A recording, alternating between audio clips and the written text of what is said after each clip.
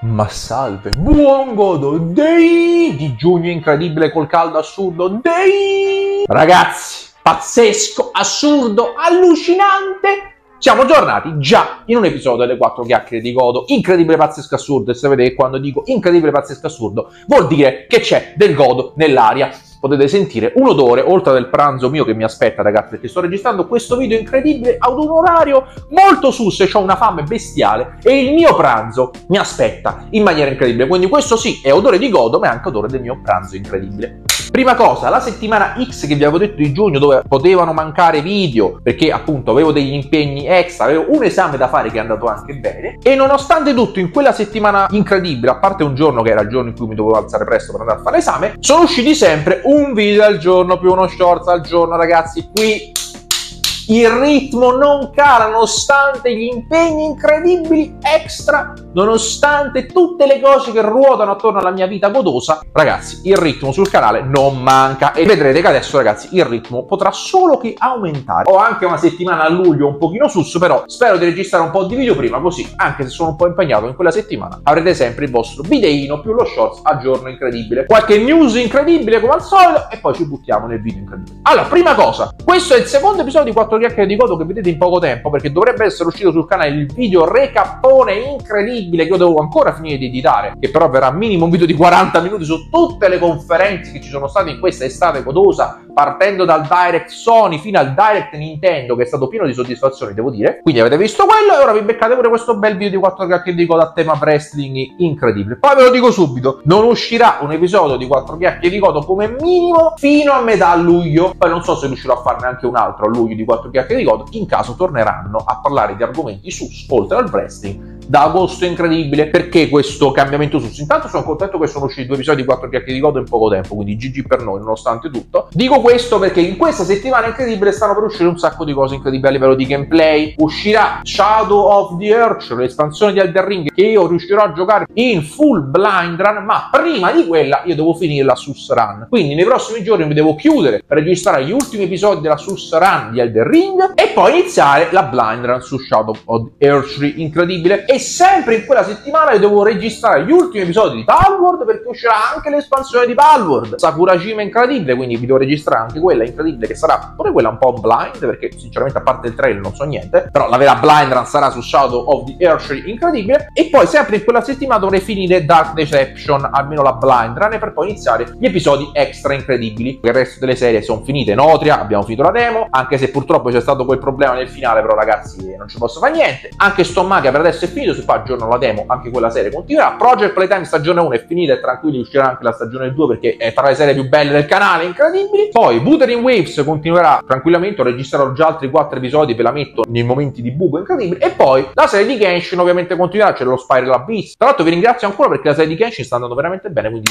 che il godo sia con voi incredibile. E poi c'è un'altra serie che ho registrato di nascosto, sono circa 3 episodi, più l'episodio extra che registreremo insieme, che è una serie horror simpatica che probabilmente vedrete a luglio, mentre io registro la blind run di Shadow of the Earthtree Incredibile. Qui, questo per farvi un recappino per quanto riguarda i gameplay. Però adesso buttiamoci nel video incredibile. Oggi parleremo dell'ultimo pay per view targato da WWE Clash of the Castle. Un pay per view che sinceramente mi ha fatto un pochettino girare le balle. Io capisco il build up della storia, capisco il futuro, capisco i pay per view che andranno avanti, capisco SummerSlam, però secondo me c'è una legge sus nel mondo del wrestling in generale che è quando c'è quel momento in cui una superstar deve vincere, deve vincere. Può sembrare una regola stupida, ma è così, perché quando tutto si allinea, quella superstar è over, il pubblico lo vuole, l'universo lo vuole e tu non butti il carico in quel momento per cercare di guadagnare tutti i punti possibili da quell'occasione, finirà che perderai malamente e quel momento non lo riuscirai mai più a raggiungere né tu che hai pensato a quel momento né la superstar stessa. E questo è uno dei punti salienti di cui parlerò in questo video incredibile. Ragazzi, sigla incredibile e si parte.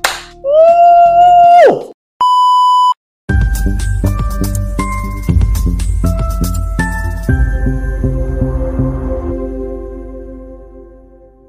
Eccoci qua, incredibile nella nostra postazione godosa delle chiacchiere di godo pazzesco e assurdo. Partiamo con calma e con godo. Innanzitutto la location. La location è stata molto bella perché è stata fatta in Scozia, a Glasgow, incredibile. Infatti Clash of the Castle perché il simbolo dei castelli, perché lì, sai no, è un posto medievale, sono un sacco di castelli incredibili. Quindi location top. Il pubblico, un gran pubblico anche qui. Il pubblico europeo, ragazzi, rispetto a certe volte a certe puntate di Raw dove il pubblico è proprio in silenzio, morto, il pubblico europeo si fa sentire caloroso, urla in continuazione, quindi anche quello GG. Una cosa negativa, e non sto parlando dei match ancora, sono stati i botch. Mi sono documentato un attimo, a quanto pare le corde del ring che hanno usato in questo PvP non sono state collaudate bene, erano molto dure, non erano flessibili come al solito, infatti molti match hanno avuto delle piccole modifiche proprio per il fatto che le corde non volevano collaborare. Incredibile, quindi questo sicuramente non ha aiutato la qualità dei match. Però arriviamo adesso alla ciccia vera. Primo match della serata, Cody Rhodes contro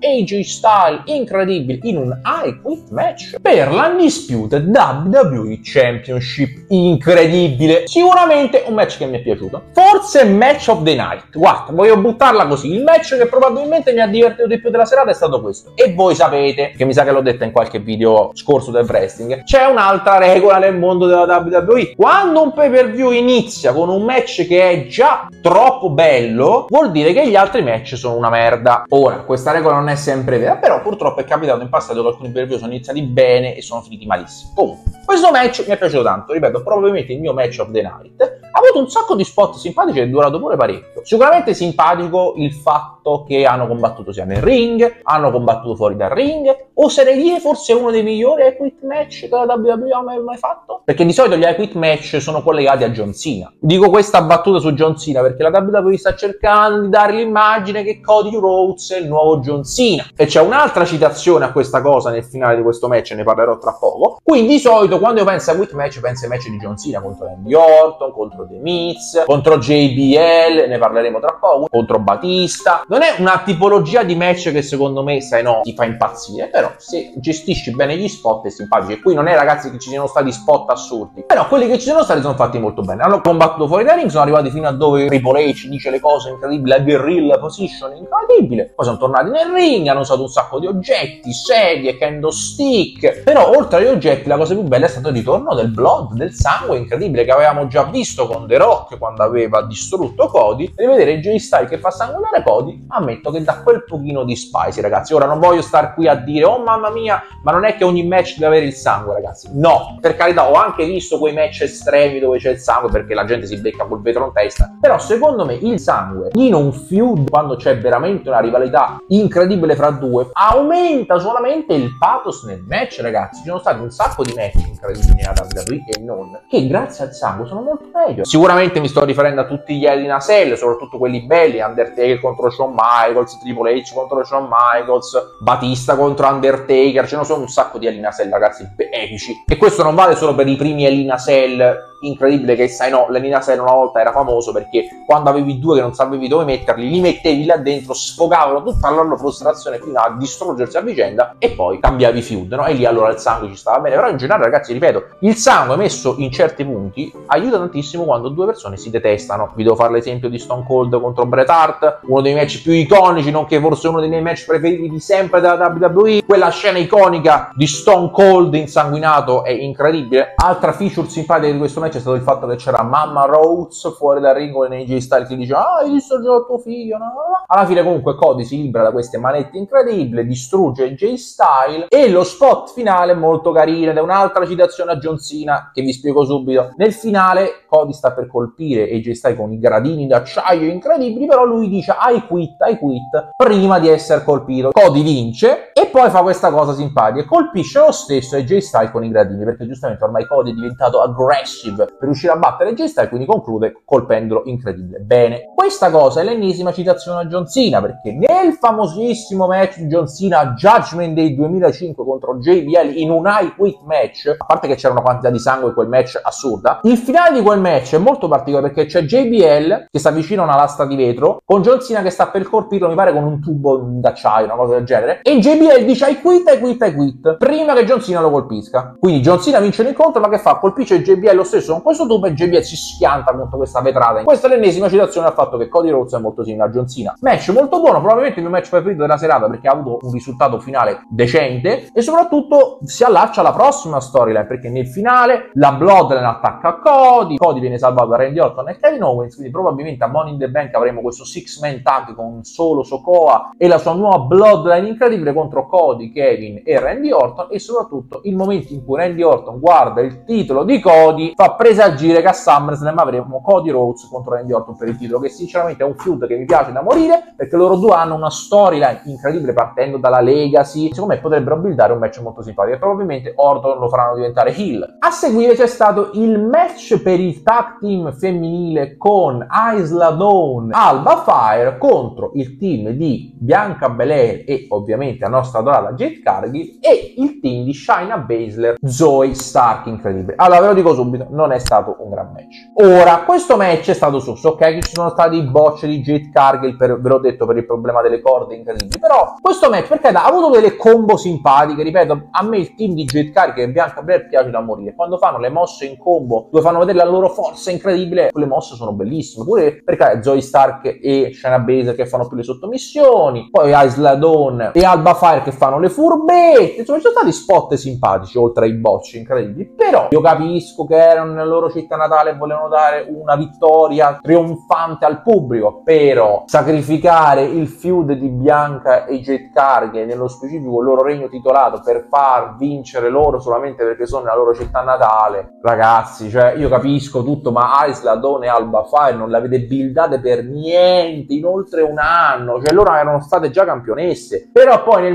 main roster cioè non combattono da una vita non si vedono in televisione da una vita capito? Le fai tornare solo perché stanno in Scozia e bla bla bla li fai vincere cioè è quel contentino stupido cioè io tra farle vincere così e dargli un regno titolato inutile cioè farle perdere qui le buildi bene magari a SummerSlam ne fai un match decente fra loro contro Jet Cargill e Bianca Belair e le fai vincere lì ma buildate bene, capito? Questo contentino così, secondo me, è privo di godo. E mi dispiace da morire per Jet Cargill e Bianca Belair. Io le avrei volute campionesse a vita per mesi, mesi e mesi prima di farle lottare a vicenda. Invece hanno interrotto tutto molto prima. Mi dispiace veramente tanto, ragazzi. Avrei voluto veramente che questo regno titolato continuasse. Per quanto riguarda Shayna Baszler e Zoe Stark, non gli cambiava niente a loro. E anche il finale un po' sus l'hanno fatte vincere un po' in maniera furbetta perché non mi ricordo se Jade Cargill o Bianca Belair avevano fatto la finisher arriva Isla Dawn se non sbaglio fa un roll up e vince. Non mi ricordo se è lei che fa il roll up o lo fa Alba Fire. Comunque vincono con il fatto che la mossa l'aveva fatta Jade Cargill o Bianca Belair. E quindi nel finale pure molto sus hanno approfittato del vantaggio di Jade Cargill e Bianca Belair per truffare e fare il pinfall incredibile. Quindi sì match un po' così risultato sempre un po' così. Capito no? Però arriviamo a quella cosa che mi ha fatto veramente, veramente, veramente arrabbiare. Perché dico che mi ha fatto arrabbiare, ragazzi? Zayn contro Chad Gable. Lo so, ve l'ho già ripetuta mille volte questa cosa, ma secondo me Sami Zayn, e io adoro Sami Zayn, lo seguo da quando era il generico, Kenny Steen, Ring of Honor e bla bla bla bla, però Sami Zayn non doveva essere colui che di fatto ha sconfitto Gunther a WrestleMania. L'uomo era Chad Gable. Io adoro Chad Gable, è sempre stato il nuovo Cortengo, ragazzi. Non è che adesso è diventato heel e dico, oh, Cortengo, è sempre stato il nuovo Cortengo, ragazzi. Da quando era col team Alpha, incredibile. Ragazzi, non è possibile. Non è possibile che Chad Gable abbia perso di nuovo il titolo. Lui doveva vincere la WrestleMania e doveva rimanere campione intercontinentale per mesi, creare dei feud incredibili come ha fatto Gunther, ragazzi. Io non ce la faccio più a vedere Chad Gable trattato in questo modo. E tra l'altro lui ha rifirmato con la WWE. Io spero che la WWE gli abbia detto ehi, ti diamo un sacco di soldi, abbiamo un sacco di storyline per te, però devi perdere il titolo intercontinentale sempre, ragazzi. Non c'è altra alternativa, ragazzi. È assurdo nel ring. Adesso che è diventato Hill è ancora più interessante, ragazzi. La storia con Otis non è quel che è. E perde di nuovo contro Sami Zayn, ragazzi. Non gliela faccio più, ragazzi. Questo è uno di quei momenti, ragazzi. Chad Gable adesso è oro. Sta facendo il work della sua vita e dà dategli il titolo, cavolo. No, ancora Sami Zayn campione. Tra l'altro, a Raw adesso Sami Zayn inizierà un feud con Bron Breaker, che spero a questo punto Bron Breaker distrugga Sami Zayn, per favore. Però, capito, il match è molto buono, ma mi ha fatto innervosire troppo il finale, ragazzi. Con Otis e Maxine, con Chad Gable che dice a Maxine colpisci Sami Zayn, e lei non lo fa. Otis colpisci Sami Zayn, e non lo fa. Poi lui fa un moonsault, colpisce la gamba di Maxine, Otis porta via Maxine, nessuno lo aiuta, calcio di Sami Zayn e Chad Gable perde. Veramente un peccato. E tra l'altro, secondo me, questo match ha perso pure perché aveva bisogno di una stipulazione, ragazzi. Secondo me è il terzo match che fanno insieme. Datevi una stipulazione, cavolo. Io l'avrei fatto un submission match. Il fatto che Sami Zayn, sai no, aveva la gamba infortunata da Chad Gable, cioè lui usa le colloque, no? Un submission match sarebbe stato perfetto in questo caso, incredibile, no? E invece no, match classico, buon match, ripeto, senza stipulazioni. Il feud è finito. Io non so cosa faranno con Chad Gable, ragazzi. Per quanto mi riguarda, io vorrei vincesse Money in the Bank, ma non credo vincerà mai Money in the Bank. Tra l'altro, a Raw ha debuttato finalmente la fazione dei Wyatt Six, che per carità è una botta al cuore, ragazzi, perché io ve l'ho già detto, io adoravo Bray Wyatt. E quando dico che adoro Bray Wyatt, adoravo le sue gimmick, adoravo il suo modo di pensare, ragazzi, era così godo verso Bray Wyatt, che voi non avete idea. I costumi sono bellissimi, spero veramente venga costruita bene questa cosa dei Wyatt Six. Però Chad Gable è stato distrutto da loro già, quindi io non so cosa succederà. Tra la fazione con i Creed Brothers, vincerà Money in the Bank. Io spero abbiano in mente un piano spicy per Chad Gable, altrimenti, ragazzi, ci rimarrei veramente male. Incredibile. Poi passiamo al match femminile con Piper Neville, incredibile contro Bailey per il WWE Women's Championship. Incredibile, anche qui. Stesso feeling del match femminile di prima. Piper Neville è una incredibile atleta, però tu non me la puoi mettere in un match titolato dopo che non me l'hai buildata per un anno incredibile solo perché siamo in Scozia. Anche qui il pubblico la adora. Il match è stato molto buono, ha avuto pure un kick out pazzesco Piper Neville quando ha fatto la sua moto su bene con tutti che dicevano ah Piper Neville vince, Piper Neville ha perso. Divertentissimo Chelsea Green ragazzi, io adoro Chelsea Green, non so come fate a criticarlo. Io certe volte leggo gente che detesta Chelsea Green, ragazzi. Chelsea Green è la rappresentazione in terra che tu puoi creare un personaggio personaggio divertente, che ha senso nelle storyline e anche se nel ring magari non è, sai no, Aska, Io Sky, però a livello di character è incredibile. E il fatto che lei venga cacciata dal ring e ritorni con la maschera di Re Mysterio facendo finta che un'altra persona è una cosa stupida? Sì, ma non tutti riuscirebbero a fare una cosa così stupida e renderla divertente. Lei è stata bravissima, quindi GG incredibile. Questo match mi ha divertito a parte il finale con Bailey che vince, ragazzi. A questo punto Bailey verrà sconfitta da Nia Jax a SummerSlam, vedrete? Stesso feeling del match femminile di prima, cioè che è stato costruito solo perché stanno in Scozia e non perché credano veramente che questi contendenti al titolo incredibile valgano veramente tanto incredibile. Se fosse stata buildata di più Piper Neville avesse affrontato Bailey dopo, avrei gradito di più. Però che dovete fare? E arriviamo al main event incredibile. Drew McIntyre contro Damien Priest per il World Heavyweight Championship incredibile. Qui c'era una stipulazione sus, cioè il fatto che tutto il gruppo dei Judgment era escluso dal ring perché se non sbaglio Drew McIntyre aveva sconfitto Finn Balor, quindi questa cosa ha senso nella storyline, ha senso nel match, quindi GG. È la seconda volta che Drew ha un match titolato in un pay-per-view in Scozia, ce l'aveva avuto con Roman Reigns e ha perso in maniera assurda. Adesso è il secondo tentativo, vincerà Drew McIntyre, incredibile? Assolutamente no, è riuscito a perdere incredibile, però nonostante il dolore di Drew che perde questo match incredibile. Il finale di questo match, ripeto, nonostante il fatto che ho odiato che Drew non abbia vinto il titolo qui, nonostante questo odio per il fatto che Drew non abbia vinto qui ed è la seconda volta che perde in un pay per view in Scozia, il modo in cui l'hanno realizzato è d'applauso, è veramente d'applauso. Hanno pensato bene. Però prima di arrivare al finale il match è stato molto buono. C'è stato quel boccio assurdo di Damien Priest che si è incastrato la gamba e ho detto ecco fatto, si è infortunato Damien Priest, invece no. Pensate che eroe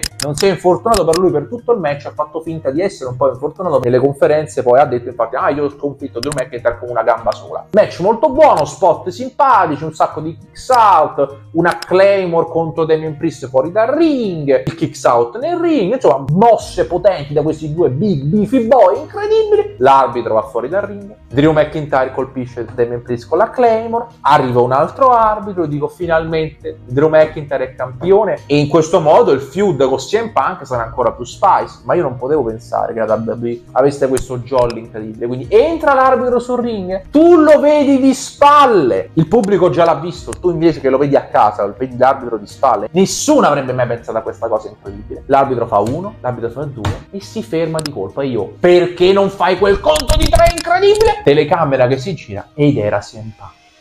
E io ero lì tipo che facevo, oh my god, WWE, mi hai trollato Maledetti, però mi hai trollato in maniera godosa, incredibile. Drew attacca CM Punk, CM Punk gli dà uno blow che penso che Drew ricorderà per le prossime sette reincarnazioni. Damon Priest fa la chokeslam e rimane campione. Allora, qui ci sono un sacco di cose. Prima cosa, ora CM Punk è quindi heel o è sempre un twinner? Perché non è che si è capito nel feud tra Drew McIntyre e CM Punk chi è cattivo e chi è buono. È un po' sus questa cosa incredibile. Poi adesso Drew ha quittato, ovviamente è storyline, quindi probabilmente ridebutterà quando CM Punk sarà a Chicago per rovinargli il momento momento e quindi quando sarà SummerSlam avremo un match tra loro due assurdo, però non lo so. Sono da una parte felice per Damian Priest che adesso sfiderà Seth Rollins a Money in the Bank, quindi probabilmente Damian Priest perderà il titolo a SummerSlam contro Gunther perché litigherà con Finn Balor e bla bla bla bla. E quando dico litigherà con Finn Balor perché probabilmente finirà l'era Judgment, è incredibile perché mo c'è pure Lynn Morgan dentro, insomma ci siamo capiti. Quindi CM Punk ha vinto, tra virgolette, Damian Priest ha vinto per quanto riguarda Drew, ragazzi, mi dispiace da morire perché Drew secondo me merita il titolo da morire. Questo suo work di Hill che sta facendo ormai da fine anno fino adesso è il migliore della sua carriera a mani basse, ragazzi a mani basse. Mi dispiace che non è campione, ve lo dico sinceramente, però io sacrifico questo dolore al cuore se il feud con CM Punk sarà a livello che la WWE sta costruendo. Se lo fanno, alzo le mani. Se non lo fanno,